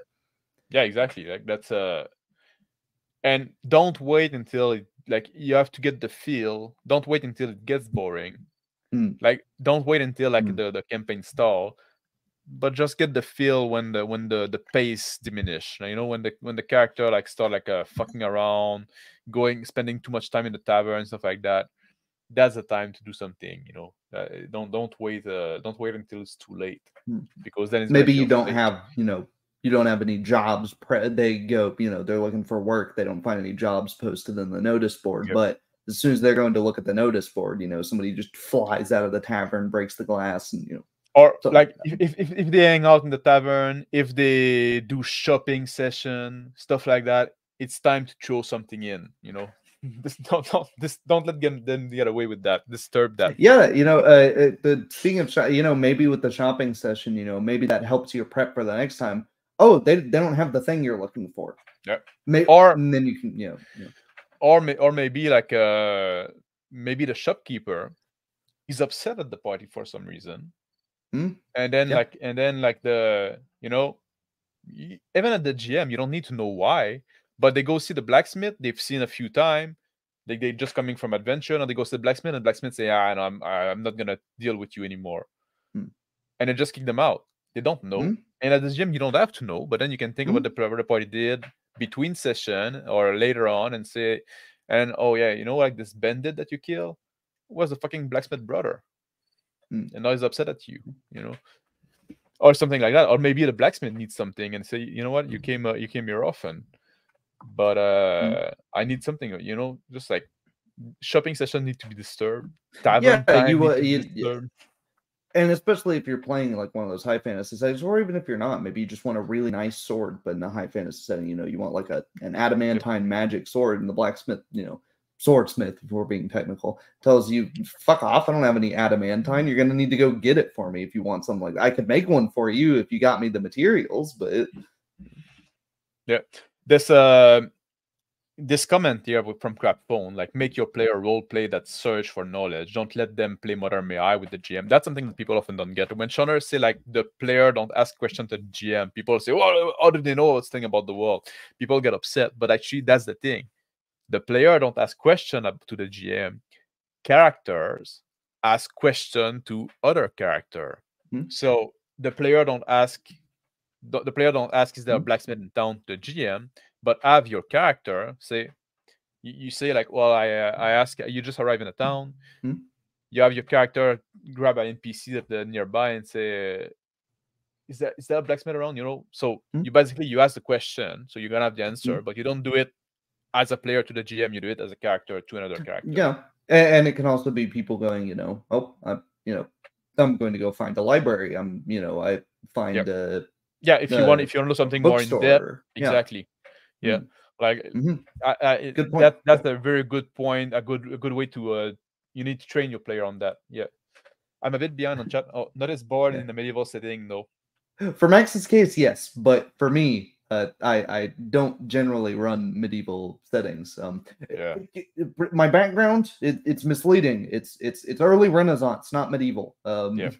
And also well often oftentimes like i say medieval oftentimes i do like late medieval and stuff like that Mm, where, mm. where you would have like a notice posted on the church stuff like that you yeah, know, exactly. you and, know, and who wants to, who it's yeah, ninety percent of your population is illiterate, but you don't want to play ninety percent of the you know the unwashed masses. Well, ya? also, also this, is, this, is, uh, this is vastly uh, overstated. You know, it's not as true in Yes, medieval time that people was illiterate. You know, we know we know that.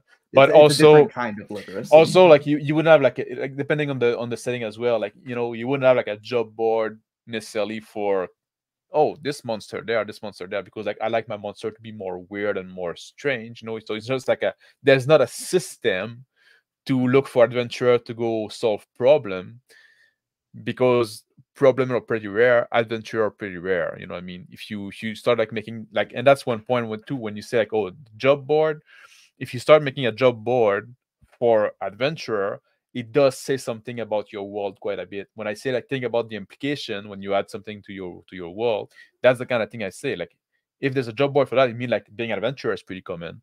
Having monster roaming around is pretty common.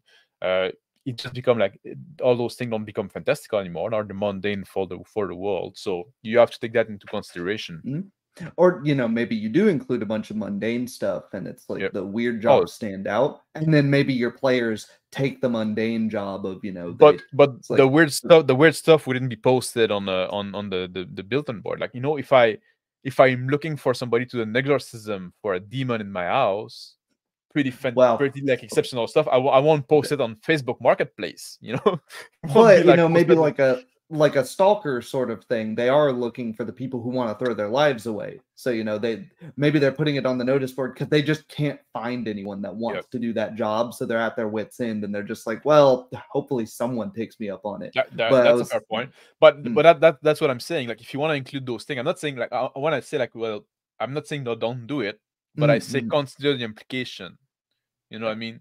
You can do whatever you want, but don't do it like willy nilly. Like consider like try to put some thought into it. Consider yeah yeah I, I think i think what we've come to the conclusion of is most of your prep should just be thinking yeah exactly. if you That's what I- just don't just you know write write random crap because Mm. you know it would be cool Uh, you you know write write it down because you know write random crap because it would be cool and then think what are the implications of this random crap that's cool think of what uh start with one thing and then that one thing can spiral out into a million things. Yeah. So like Charlotte says, don't you know, if they're going to the tavern to, you know, people like to complain about their problems with the drink, then you overhear about goblins or what have you. Yeah, you know, that's, you know, if you do have that, you know, that stalling, then you know, you can you can start from start from, you know, oh, yep, they just go and kill some goblins. Well, okay.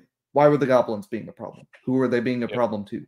Is that this person is that their patron's only problem? Does they they have more problems, at least more things? Also, also like i i would say like that's something you can do if you want to go this route like uh, oh in the tavern you're gonna hear about the goblin put seeds before like when they if they outside you know oh you see like this field that i've been burned or there's like mm. uh this barn you know like don't just just I, just don't make it mm. like random like oh now you're in the tavern you hear about the goblin you know you would leave like mark you know like you would see like oh people are depressed people like are or people are very tense you know it's something you can yeah. you can you can like kind of like uh, or or even like very obvious like you know you see a guy you know walking into town like at sundown he's got an arrow in his shoulder you know yep. like you know or or they they managed to kill one and now they put him on display in the center of town you know in a gruesome way uh you could do like just the like if you want to do just the tavern thing make it something from far off you know making because if you're if the problem is nearby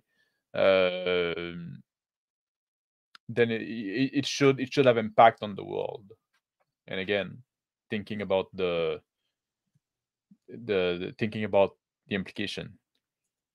Oh i sorry i didn't have i didn't uh, read that uh, you just oh uh, sorry yeah it's just just what I, basically what i was saying so yeah guard the, car- the caravan that could be on a job board uh because that's still like a mundane task you know it's mm. Yeah. but I mean, that sort of thing was. I'm I'm pretty behind on the chat. Hmm. yeah, I mean that sort of thing was fairly common though. You know, you that people, uh, especially if it was like boat duty, you know, you might have stuff listed all over the place. You know, this is later Renaissance, Golden Age of Sail stuff, but you know, you'd have stuff listed that's like, you know, hey, do you want to be a sailor? Well, okay, you're gonna be a sailor, and you're pretty much relegated to living wherever they're sailing to now. That's yep you know, because they yep. sailing was a sailing was a rough job. People didn't want to do it. They had to a lot of you know a lot of uh, captains basically had to just kidnap people off the street and for, put them into press gangs.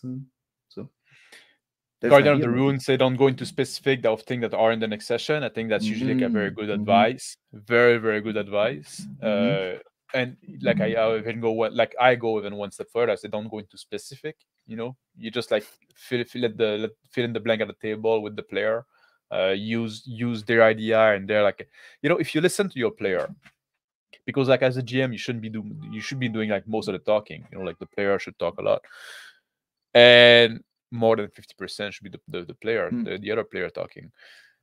But listen to them. You know, learn to have your mouth shut, your ear open. Like don't do like those big. Oh, I prepare like this uh box text here. I'm gonna read to you, and then you read you read them a novel. You know, like don't do that. You just you just tell them like what's happening, and you don't have to give like every detail. Like I seen a lot of like this. Uh oh, prepare like three senses like a smell a taste a sound uh you know like i said don't do that you know like because the player know what to expect and let them fill in the let them fill hmm. in the blank it's going to be much more engaging for them like yeah you can paint them a pretty picture but if you let them like paint the picture for themselves they're going to be much more uh much more involved into it in a way mm-hmm. Because you, you may you know you may you may kill their excitement when you when you over explain something and then they're mm-hmm. like oh that's not exactly how i thought it was and how yeah, they were I, thinking it was was way better than how you described it. And I'm not, I'm not, I'm not even a, true I'm not even a fan of using picture, to be honest.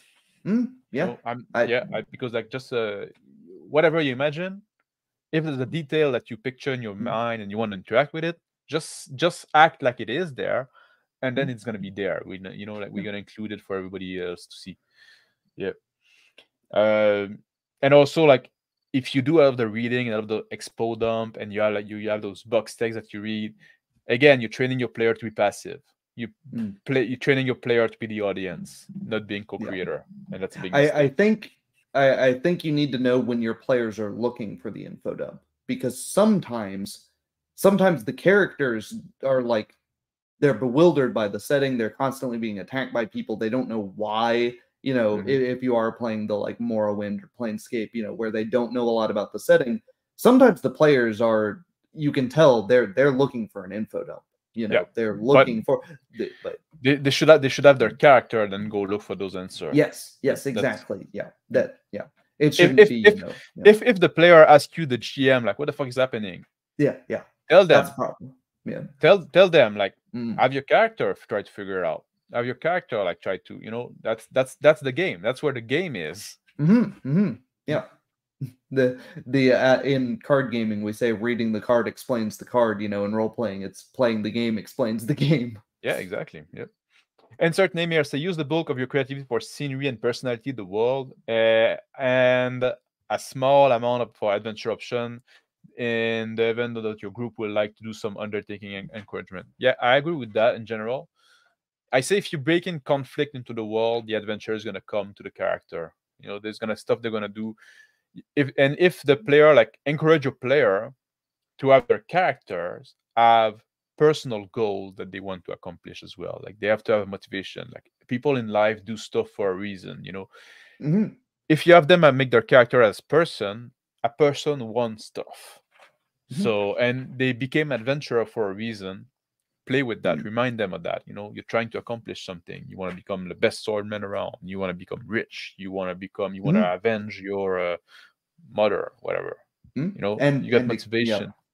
Occasionally you'll realize, you know, I've, I've played characters where I realized I don't have a good enough, you know, goal or motivation for the character, and so I'm like, okay, I'm gonna axe this character, and we're gonna we're gonna play a new one because this character's just, And- it's they're boring. and- and this this character also may come back later you Mm, know there's yeah. always there's always a chance like you know oh this character okay he's out of this storyline maybe we're gonna see him later on you know Crapphone brings up a an interesting micro point on a larger that you can apply to a larger scale. Once you have movable type handbills, Yep. uh, job boards make sense. Uh, yeah, yeah. You, your prep should part of your prep should be you know determining tech level, especially if you're you know building the world from scratch. You know, you don't need Mm. to know everything about you know, but you can have you know a vague you know idea. Are we late Renaissance? Are we early Renaissance? Are we modern? Are we future? How far future? So yeah. Yeah. Um uh got a couple more comments here. yeah i'm just uh, i'm just uh Oh. He's just what? Uh, let's see. Um hmm, yeah. Uh insert name here says never underestimate how many people just want to sit down and have the game pull them around. For every one deep gamer, there are dozens of casuals that want. Oh, oh uh, sorry i i i, missed uh like i was i was cut and Uh, yeah, yeah.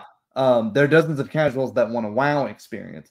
Yeah, and I think that's why you need to, you know, everything starts with vetting your players. Uh, it's kind of a But- cop out answer, but also- point, also, like, like i i i okay yeah you can vet your player Mm. but don't be too harsh with them as well because a lot of them like Mm. just like didn't learn i i talked about that uh on i think on on on, tuesday on my show uh uh, like uh, on my lunchtime show a lot of players come like now played video game first so they have like those assumption that like oh now it's like a video game well it's not actually because in a video game everything is going to be prescripted you have like specific path you can choose and stuff like that Mm. so vet your player, but also be a bit generous, I'd say, and because some of them can be trained. But you just you just have to understand what the issue they have is and figure out the right way to train them. And that's why sometimes like we do like those little like when I when I repeat often like make the make your player co-creator of the world. Those are little sentence you can try to use to explain. They're kind of like a mantra, you know, like Hmm. the the player don't ask questions to the GM. You know, those are like it might it might Hmm. seem harsh, but like it they're kind of like uh, something that's gonna stick into their mind, Mm. Like mantra, and then they can understand and they can work from there. You know, Mm.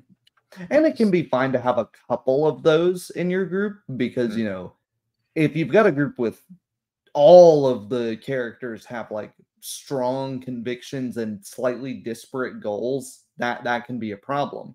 If you don't want that inter-party conflict or if your players aren't good at playing that intra-party conflict with, you know, knowing that it's a character and not you know you, you've mentioned Yeah. that before in a video um so it, it can be fine but if you have a table of nothing but those yeah, then you as a gm the world's going to constantly be acting on the players and not the other way around But we, we also have, you know, like it's slim picking, like for a good role player. So at some point, you have to you have to take the you have to make the best Yeah. with the people you got. yeah yeah you have to you have to uh you, you have to have how low are you willing to lower your expectations you know Yeah. Yeah the better you know you're the player, the better we'll understand what uh, your preps need to involve. That is very true. Because of this, uh, the best of my games i've been with friends, that people I just associate with true gaming. Yeah, I like that's that's what I prefer to do my gaming as well. Also, like I find like because of who I am with uh, rendos, I have to uh, self censor a lot. just when I talk, and I, that really killed the fun for me. Yeah, so, like when um, you know, oh god, that annoying thing. Bit bit of Paizo hate here. Uh, they buckled to the mob and were like, okay, there we're not gonna have any Mm-hmm. Well, more slavery. We're we're not gonna have any more slavery in our games. And it's like, what? But they've slavery's bad though, and they portrayed it as bad. So we Mhm. we can't fight villains anymore. And you know, I hate having to tiptoe. It's like as a GM, I'm going to play horrific people you want to beat up. You need to know that I am not those horrific people. I'm playing the role of them. Yeah. And uh anything else you see that uh, need to be addressed? Yeah, let's see. Um, Markman say like uh, you, you can make an interesting city by giving it a history with more than one guiding force in the history, like a mining town that also have like a massive winery. Yeah, that's a good. Uh, that that's that's that's good idea to have. Mm. But again, like I often say, you don't need like as a GM, you don't need to have all the answer up front. It can like uh you, you can like make it up like yeah, there's a big uh pretty big mining uh, community there, and then at some point later on, yeah, there's also like this big winery, and you know, Mm. If it's not relevant at the moment, you don't need to know it. You don't need to. A lot of what Yeah. I say is that like and and uh yeah, that's that's part of like being a real being able to think on your feet. Yeah, and you you can just sort of think logically, you know, this mining town, well, if they're just a mining town, they have to get their food from somewhere. Are they growing it themselves? Are they growing it? Are they getting it imported? If they're getting it imported, you know, then you can have, you know, a plot hook be that the supply chains are breaking down and, you know, they can't do mining because nobody has any food and their miners are all, you know, starving. But, you know, yeah, it's it's just infinite. It's just from from one thing, you just take that and apply, you know, just apply logic. Just think about it and the the more time you spend thinking about it, you'll have an infinite number of things. As long as you're not telling, you know, you don't use all this prep to sit down at your players and go, okay, there's this mining town and the miners are doing this. This is what they mine. They're they're having issues, right? No, they have to figure that out through play. Yeah. L, it's a Hotline Miami, not a Moonlight Miami. No, it's not. It's not a role playing game exactly. It's really an action game. Uh, Mar Huckman also says, yeah, it's weird trying to have a game where the villains don't actually commit crimes. Yeah, I, I, I mentioned something in the notes for this that we we need to do an episode about villains on point. making villain. Yeah, that's absolutely Yeah. something that I'm going to do. Uh, not next week be- because Mm. Next week we're going to talk about uh, character creation. Yep. Uh, different way that different system does it. Uh, character like making character build, like life system stuff like that, like rolling randomly. Um, I think that's going to be an interesting show as well. Mhm. I'm very behind in the chat there. Like I'm scrolling down to see if something uh, needs to. Uh, if you see something, uh, go ahead. Oh, I think I'm catching up now. Oh, okay. Let's see. Mm, mm, mm, mm. You should be comfortable with the political situation, business uh, rival at the macro level, the criminal element, and the economy uh, driver at the macro level. Yeah, when I say like, that's what I mean by uh, when I say like build in, uh, bake like conflict in the world, you know, but stay very high level. That's uh, uh, like, uh, maybe you can think of like, oh, there's this faction and this faction, and maybe a third element, a, a third rail that is uh kind of like causing trouble in doing that. You don't have to go in all the specific of it, but like that's when you create your world design. You know, it's this world and like it's modern day uh LA and uh, there's uh, there are like uh this happening and those faction or like you know it's medieval time and there's like a this noble family that is trying to usurp the throne uh Mm. doing mach- machination you know you don't go you don't need to go in all the specific but that's like Mhm. that's kind of the level of thinking I like. I, I I think is useful in the prep because it gives the impression that the world is alive, the world has a purpose, the, the world exists for its own sake. Hmm. What do you think? Yeah, the characters start knowing the big issues, but if they try Yeah. to tackle the big issues immediately, that you know they're going to get interrupted. If you're in a modern setting and you, uh, let me let me be careful here. If you're in a modern setting and you try to tackle the problems at the top, the macro level of that setting, there will be you know local police, Yeah. local you know eh, they're going to be the micro level things, but you don't need to know, you know, when you're prepping the game, you don't need to know the names of every police officer. You don't need to know the names of every gang member in there. You just, you know, Armin said his stream was about the rules about gaming. Thanks, man. That that's what uh, I wanted to do with those stream actually. That's why I invited, I invited Tyler there. Like I wanted to not go so deep in the weed, not go into the little detail and minutia of like this game and that game. I wanted to talk about more like a general idea. mm, yeah, I'm glad you like it. Um, yeah, and like I said, we, we're gonna get like you know we, we're still gonna get our groove over Mhm. time. We're, we're beginning to work together. Uh, I think that's uh, we're about to wrap it up now. Yes. yeah, I think so. Um, let's see. Uh, Anything else you want to add? mm, Crapphones, prob- the probably a ton, or but- people who misgender other. Yeah, that's like a the really yeah.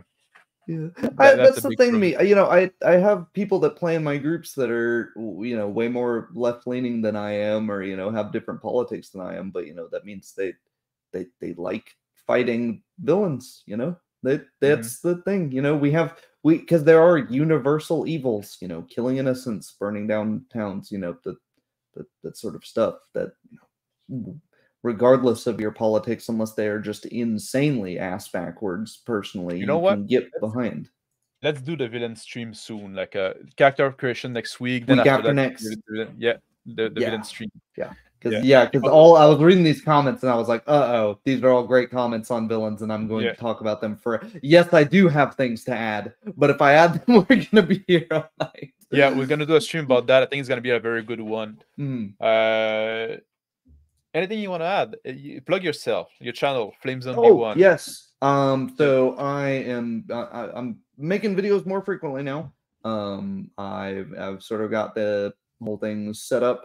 I'm doing. Uh. I do stuff on historical European martial arts uh, and how that sort of ties into um, you know, most tabletop games, um, fantasy things.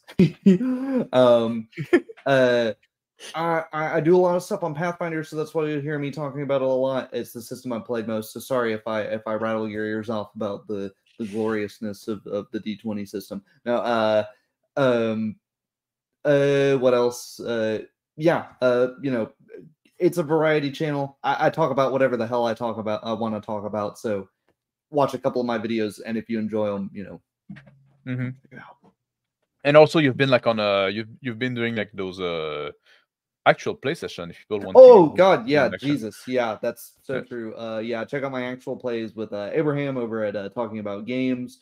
Uh, right now, I'm playing with uh, Rick uh, from 28 Millimeter RPG. We just started a uh, sort of um, like Sword Art Online dot hack uh, style game set where we role play ourselves inside an MMO. Uh, so it's very very meta. Um, that's How did it go? Uh, it went really well. Um, it's a it's a very very crunchy, weird system that I didn't.